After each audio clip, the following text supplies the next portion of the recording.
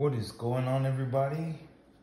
Just wanted to give y'all a quick segment here on the YouTube channel, Haus of Cards, and on the podcast, Haus of Cards. Appreciate y'all joining here.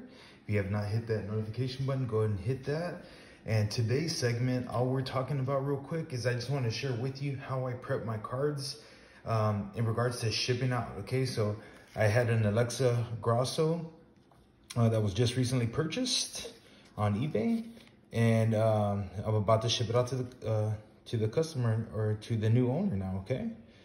Um, anyway, this is like a a cracked or like a shimmer here. Don't know the exact name on this one here. Uh, it is a Topps Chrome rookie card. Got the little rookie octagon symbol there, which is pretty cool for uh, the octagon for UFC and stuff. But up and coming fighter, straight out of Mexico, Guadalajara, representing. Anyways, shipping this one out. Let's put it together and I'll show you how we do it, okay? So number one, get the card here, got it ready. Normally what I like to do on um, whenever it's just gonna be on a top loader, something like this, um, or a rigid, what I do is I get two of the top loaders, put a piece of tape together here, slide the card right in the middle, okay? Take my business card right here, slide that here in between the cards, just like that. Give me a piece of tape, small piece of duct tape here, and actually I'm gonna cut this in half so I can turn it into two pieces here. Hold the two outside portions of the card together there, okay, just like so. And if you're listening to this, it's gonna be a little harder, uh, so you have to kind of just imagine, but you can always check it out on the YouTube channel as well.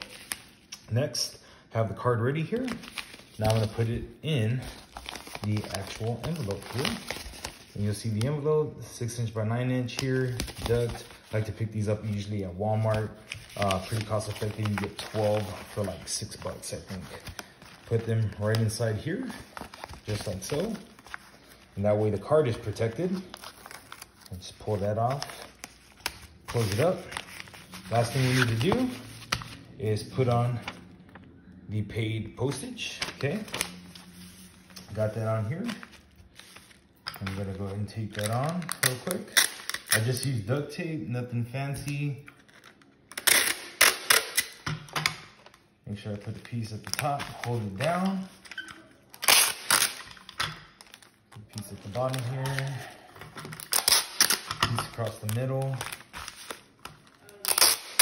And I'm not gonna show the customer's information here, but there it is, okay?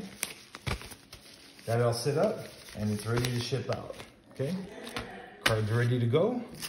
And hopefully you can take that, use that information as well. Pretty cost effective way, doesn't cost a lot of money.